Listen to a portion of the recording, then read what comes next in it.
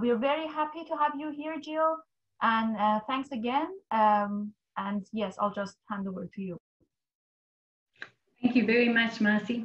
Um, I guess in exactly the way that Leah said, um, this is one of the plus sides of um, the, the devastation of the pandemic that we can be in a Zoom room together, despite the fact that I can't see all of you, but it is great to be with you today. Um, I think there's another reason that this is my participation in this seminar series is quite unusual, and that is because I think it's quite rare for sociologists to think that psychologists might have something to say.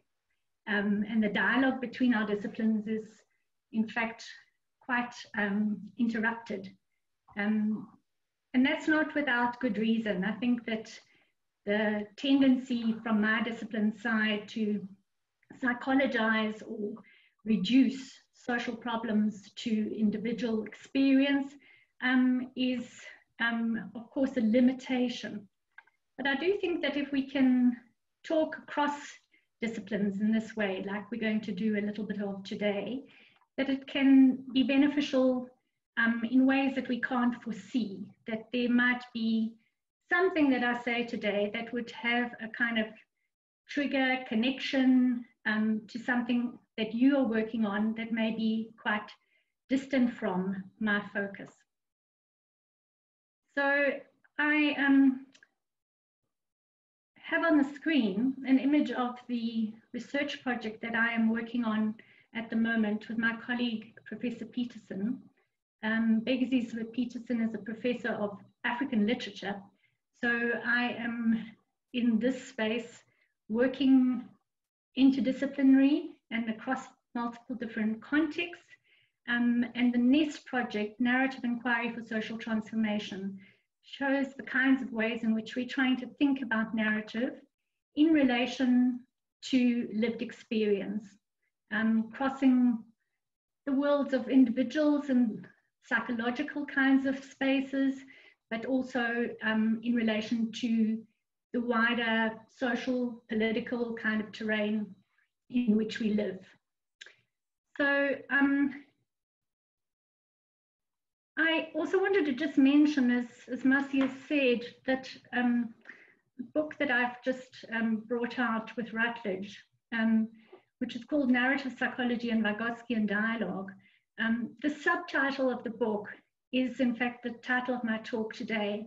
And I suppose you could say this is a way of me getting my revenge on the publishers, because this is really what I think the book's about. It's about changing subjects. Um, and that's the primary title rather than the um, title that they gave, which is in fact the subtitle. Um, the subject in um, this, um, this kind of framing of my engagement is um, is a kind of like ambiguous play on the word subject. So the first thing, of course, is that the subject of psychology, the discipline of psychology, um, is focused on the human subject as its object of study or of interest. Secondly, we use this term, the subject, to indicate the grammatical subject in linguistic terms, um, the one who acts, if you like. But of course, we also talk about the subject as she who is subject to or subjugated by um, social processes, the actions of others, and um, our kind of like place in history and in space. So I'm going to talk about this notion of the subject as uh, characterized by three primary um, kind of threads, if you like relationality, temporality, and embodiment. And in the book, I use the theory of Vygotsky or social historical or social cultural notions of consciousness in relation to narrative psychology to explore these kinds of dimensions of being. But for the purposes of today, I'm going to, in fact, um, foreground or highlight another interlocutor in the book, um, and that is um, a remarkable South African psychologist by the name of Chabani Manganyi. um, who in the 70s kind of preempted what is now the field of narrative psychology, um, working under apartheid in particular sorts of conditions that I'll try and speak a little bit about today, um, in which he embarked on work um, which I, not necessarily he, um, understand as a kind of narrative psychology. So in the early 70s, um, 1973 in fact, he brought out this seminal book, Being Black in the World, um, in which he traced and thought about um, what it means to be a Black person in the social world. Um, and obviously his theorizing comes from that particular place um, and he elaborates the notion of being Black in the world from um, his position um, in apartheid society. He did something quite remarkable in addition to thinking about social life, individual human experience, um, in the conditions in which we were living, which are in fact not that different from the conditions that in which we are living. Um, but he, he undertook a series of biographic studies um, or narrative studies, and his choice of subjects was really interesting and, and gives us a particular kind of angle in on these questions. He, um, his work covers um, a range, and I've given you three here who are the prominent and important um, biographies that Manganyi wrote um, of artists. So Sekoto and Dumile Feni, both um, visual artists, Feni in particular, a sculptor. Um, Sekoto, who I think is relatively well known internationally, Feni less so, um, a painter who in fact lived most of his um, working life in exile in Paris. Um, all of these artists, including um, Ezekiel Mphahlele, who's the third, um, the focus of the third um, book that's on your screen, is, um, is also, so his, his literature is also written primarily from exile. So three key figures in which um, that gives kind of Manganyi a kind of space in which to think about the condition of being Black in the world.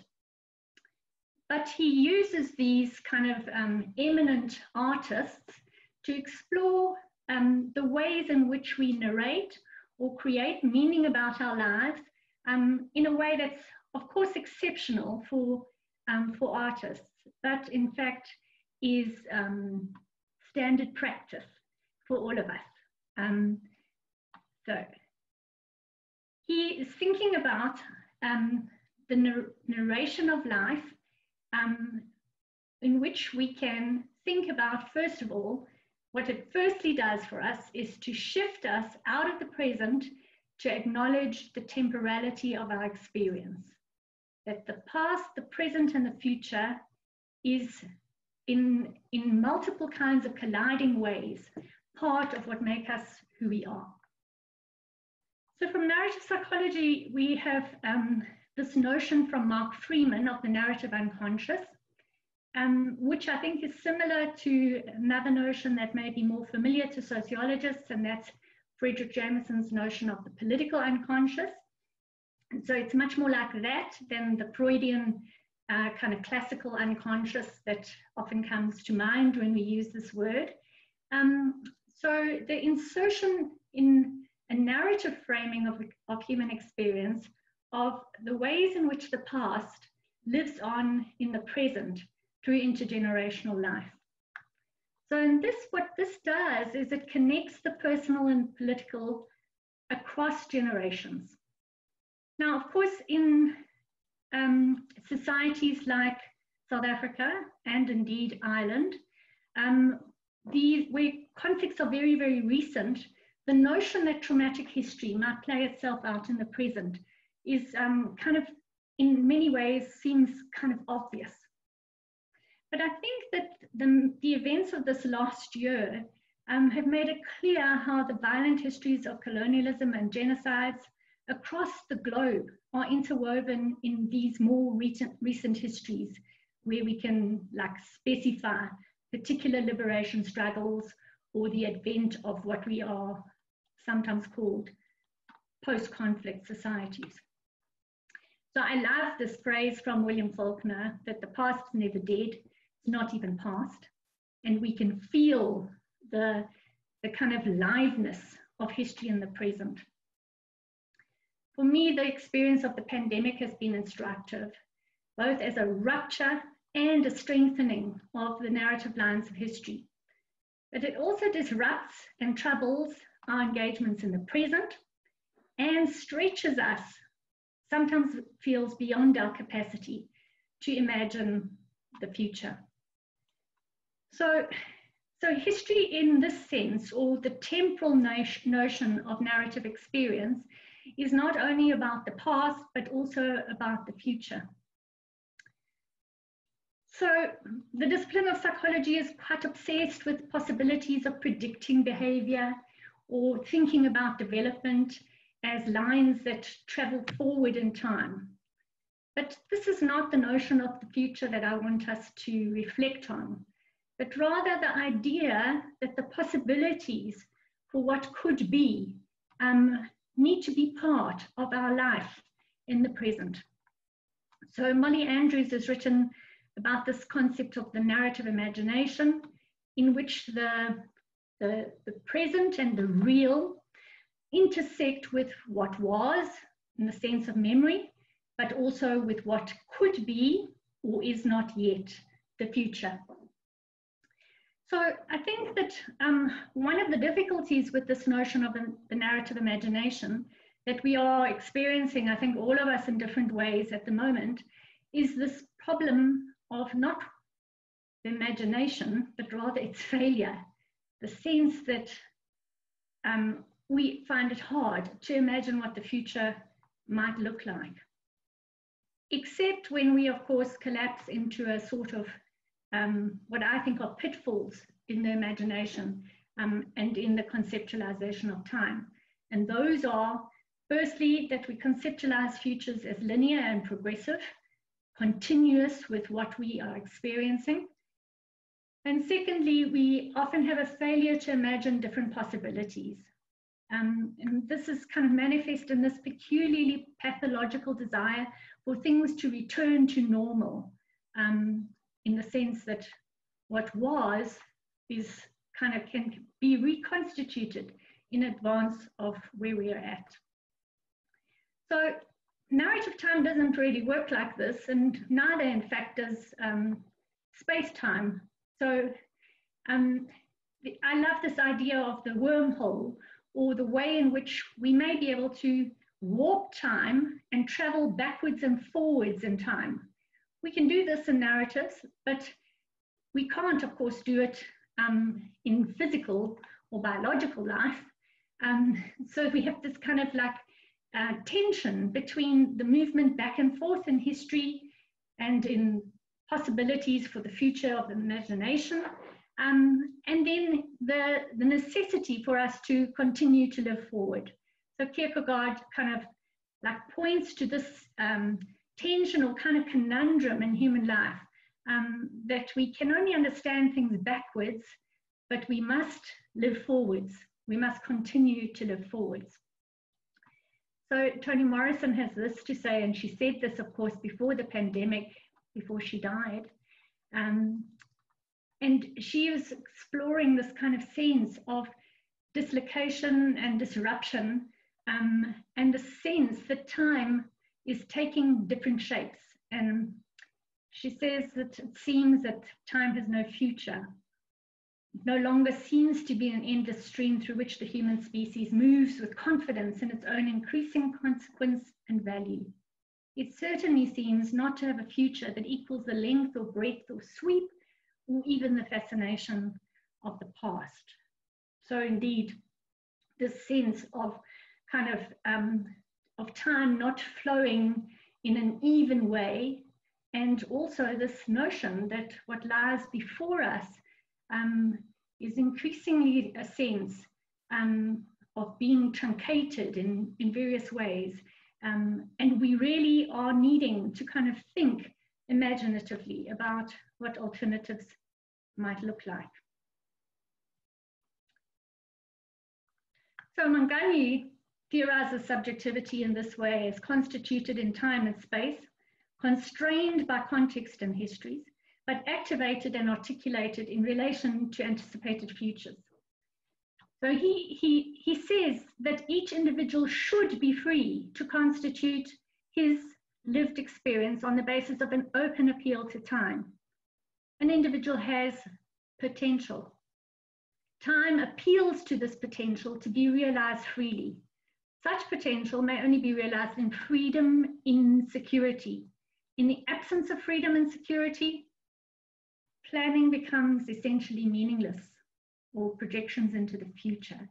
And the individual life becomes provisional, or another word that is kind of very kind of topical at the moment, precarious.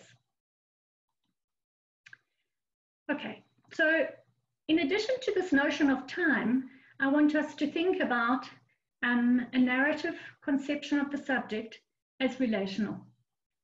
Um, this second theoretical thread, of course, is, is linked to the notion of time, that if we understand the past and the future as connected with the present, it makes it possible for us to think of individual lives as part of something much bigger. This image um, of the marigold beads from Zimbabwe um, suggests this kind of fluidity of connection. Um, the movement and the fluidity of individual beads, but connected to something larger.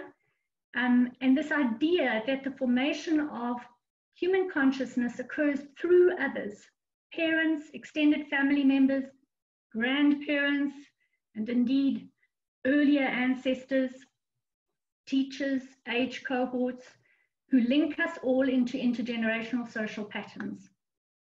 Manganyi's psychology includes a central role not only for human others, but also for the objects of material culture, emphasizing their use, though, in the living processes of relational communal practices.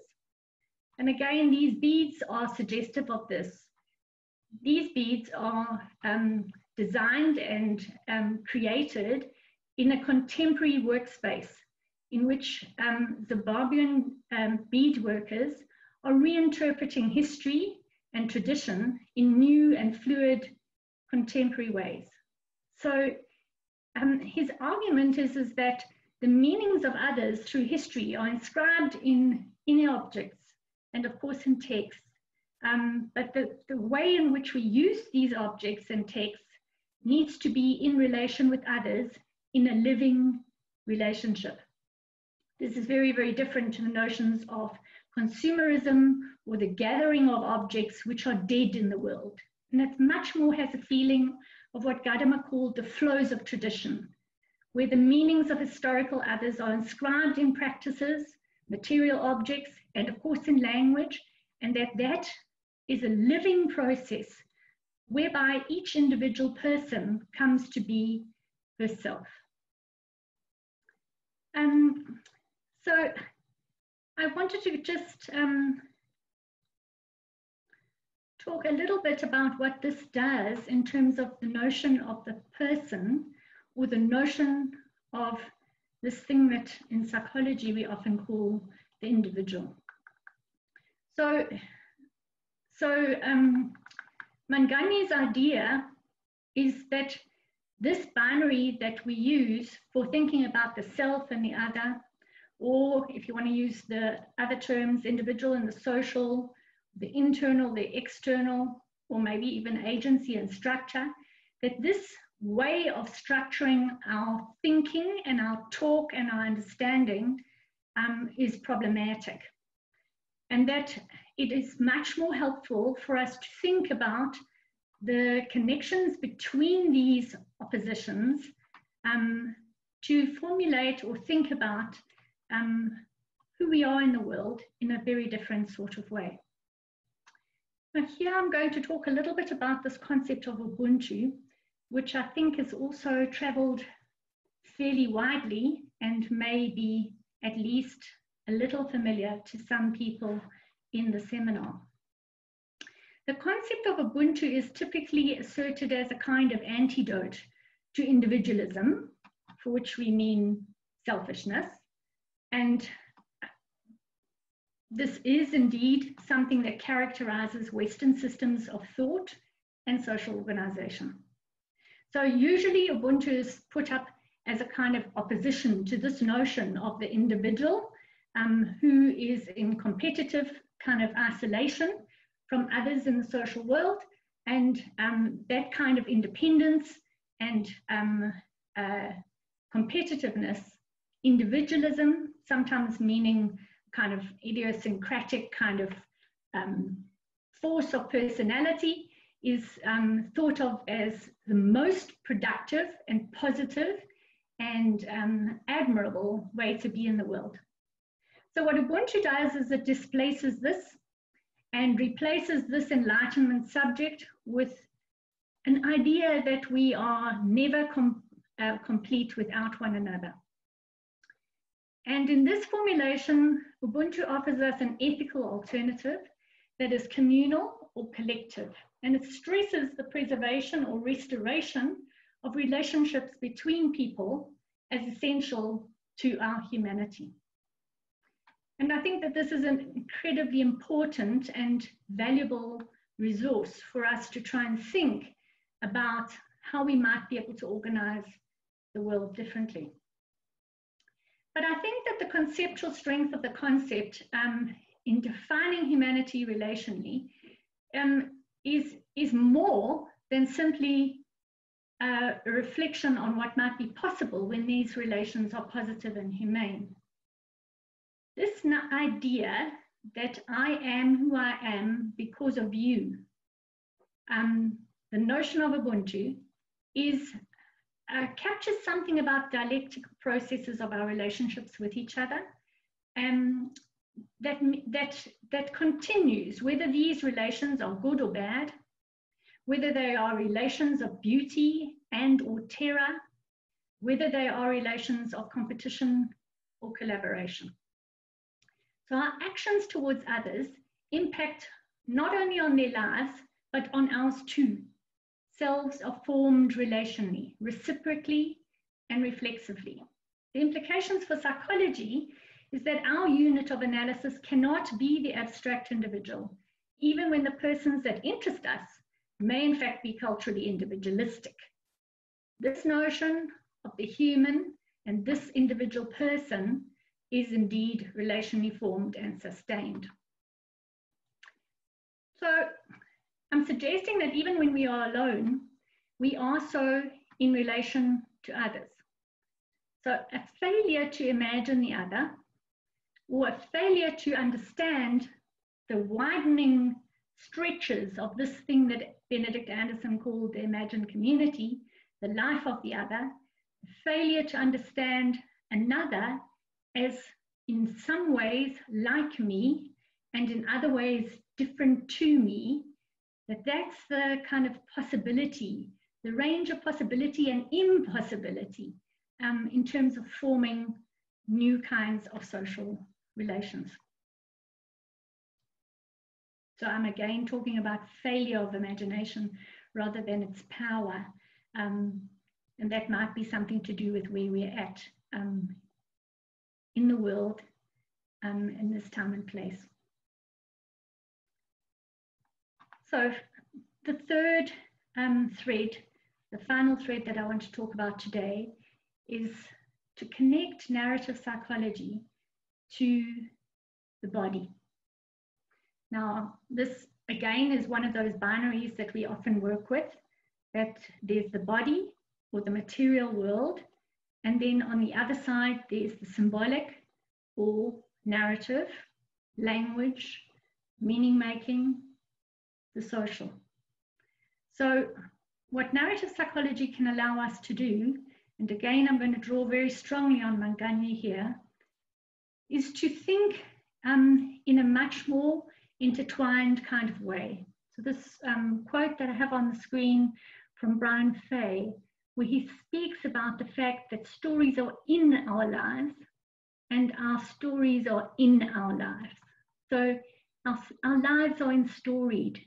As we live our lives in the ordinary flow of everyday life, stories are woven into our doing and thinking and being.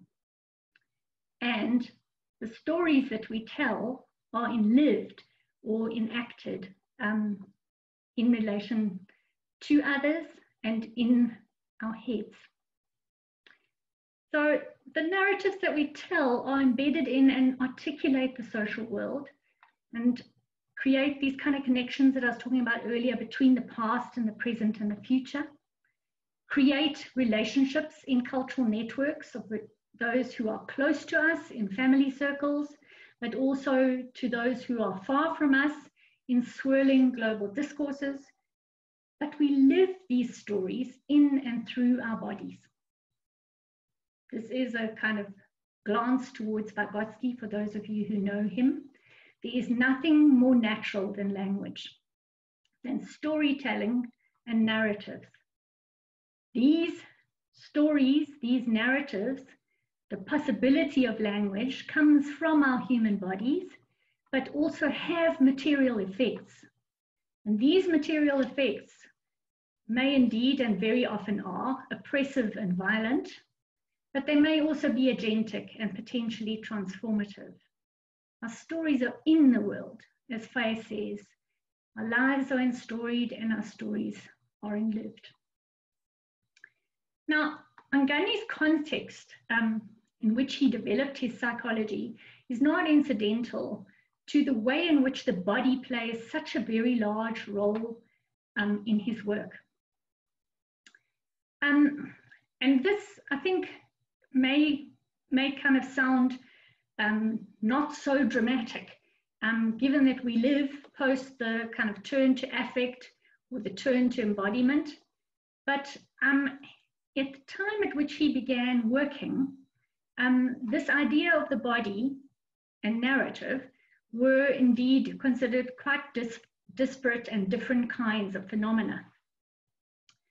So how is it that a person who does his work through the method of biography, does his work through narrating experience, and thinks about the psyche um, in these terms, um, is actually also grounding this um, idea of narrative in the body.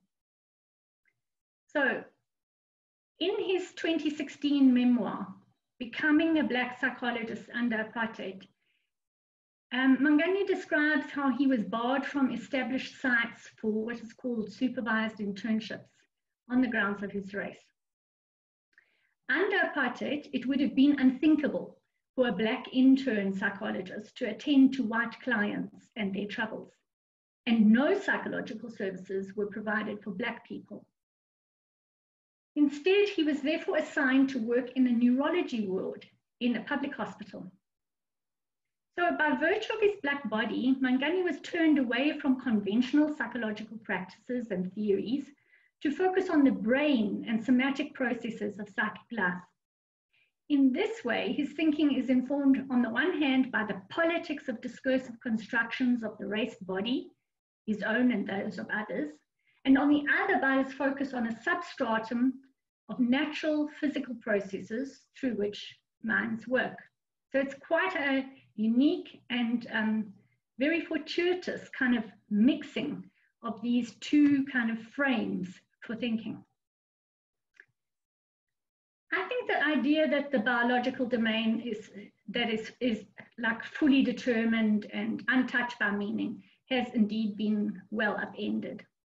Bodies mutate and can be subjected to artificial manipulations of all kinds everyday practices constantly alter our natural bodies, shaving, dyeing, straightening or curling hair, makeup, perfuming, and the tattooing and piercing of skin.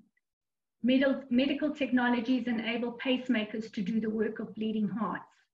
Some of us can move about on prosthetic limbs that are able to respond to electronic stimulation of the brain. Implants can change our sexy curves and gender reassignment surgery can rename us and change our social relations in dramatic ways. Bodies are interpreted and crafted, but nonetheless, they are pivotal in the making of meaning and exceed our control of this meaning making and insert us into the material world of objects and other people. So the mutability of the body is not infinite. They can grow fatter or thinner, fitter or creakier, but always older, never younger. The temporality of the body is different to the temporal fluidity of narrative meaning making that we discussed earlier. We are embodied meaning making creatures. And here I'm going to give you a quote from a really wonderful novelist, Siri Hustvedt, who says it like this Human beings are animals with hearts and livers and bones and brains and genitals. We yearn and lust, feel hunger and cold, are still born from a woman's body, and we all die. These natural realities are inevitably framed and understood through the culture we live in. If each of us has a narrative, conscious and unconscious, a narrative that begins in the pre-verbal rhythms and patterns of our early lives, that cannot be extricated from other people, those to whom we are attached. People who are part of shaping essential muscular emotional rhythms that lie beneath what has become fully articulated narratives intended to describe symbolically the arc of a singular existence. And then each of us has already been bound up in the world of others. So because of our embodiment, we are connected to others. And she, of course, explores this particularly in relation to female bodies, but the, the idea that who we say we are in the world, our identities, our narratives of experience um, are, are only possible and only make sense in our embodied existence. The boundaries of the material and symbolic, social and psychological, or nature nurture collapse. So, of course, we're all post structuralists and we know that words and worlds are severed there's no transparent direct representation of reality, but narrative remains entangled with embodied life. Inasmuch as there is no solely sensory connection with the world, neither is there a hermetically sealed domain of words, storytelling, or even theory making that has no bearing on embodied lives. According to Manganyi, the relational quality of human life entails being in relation to first and foremost one's own body as an existential fact, and the significance of this fact in both sociological and psychological terms. The body is not merely an inert substrate, rather, it constitutes an individual's anchor in the world. It is the physical body which makes it possible for an individual to be given a name, to tell all and sundry who he is, to constitute lived space. In other words, it's only through the body that our social relationality is possible, particularly through communal networks of family, kin, and geographical neighborhoods, and indeed across these ethereal kinds of spaces. So the swirling experiences of the pandemic for me foreground these connections. Both common because the virus, like human bodies, is biological, but also highly differentiated because of how human action and thought has organized the material world in such extremely unequal ways. Again, Manganyi, the body is the nexus of all the fundamental relations dialogue and exchange between people, which an individual person develops with others, with objects and with space and time. If the integrity of the body is violated, it has been, as it has been in the case of Black people, the other existential relationships also become distorted, creating what he calls unhygienic conditions for human life. So this idea of the unhygienic, of course, in that context where we are all aware that we may be infected by others or infect others, um, that, that seems very kind of concrete and, and obvious. But he is referring here to the notion of, of conditions being unwell in a psychological sense, that the conditions of shelter, of safety, of crowding, of alienation, the possibilities for being at home, of being exiled, of being um, vulnerable to illness and even to death. Um, these conditions of the body are also conditions of psychological and social life. So I'm going to, I'm starting to come to a close now, and I want to just talk a little bit about this idea of vulnerability to illness and death, because of course, this is something that we wish we could control, and the kind of resistance to our mortalness, um, to the possibilities of danger in the physical body. Um, so now I'm jumping continents and spaces, and also again disciplinary kind of framings um, to draw on um, a text that I've recently read and find really quite provocative and interesting. And this is from a Swedish philosopher by the name of Martin Hägglund. And he says that in fact, this idea that mortality is the thing that truncates our experience um, misses the point. He says the goal is not to overcome finitude, but to transform qualitatively our ability to live free lives. Even in their most ideal state, our lives will have to reckon with the risk of finitude, the risks of losing what we love and losing our ability to do what we love, since these risks are inherent to freedom itself. So I think that um, this idea that, that human bodies are vulnerable and that the project of life, um, of making a meaningful life, for transforming the conditions of social political life, for attending to traumatic histories, um, both at the individual level and at the structural level. Um, this, these commitments and these interests, um, this project of a life, if you like, is a precarious one. And it's partly the notion that it's precarious that um, in, impels us to take care. A commitment to sustain and to care for this life because partly it is finite. Um, and this notion that we are, um, as we make an individual life and as we make communal life, we are living in time towards a future that for us each individually at least is shortened as we live, but also collectively as a species is clearly being shortened as we live. Um, and to live in relationship with others requires care and attention to the versions of the world that we want to tell um, in our narratives. I'm going to conclude with a quote from um, the novelist Chinua Achebe, um, who is, of course, famous for, the, well, he's written many wonderful things, but his novel, Things Fall Apart.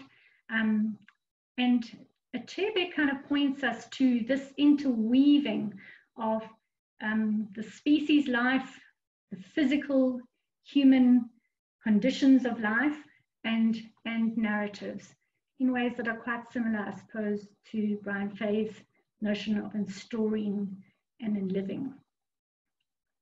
So he says this. The universal creative rondo revolves around people and stories. People create stories, create people, or rather stories create people, create stories. Was it stories first and then people, or the other way around? Thank you.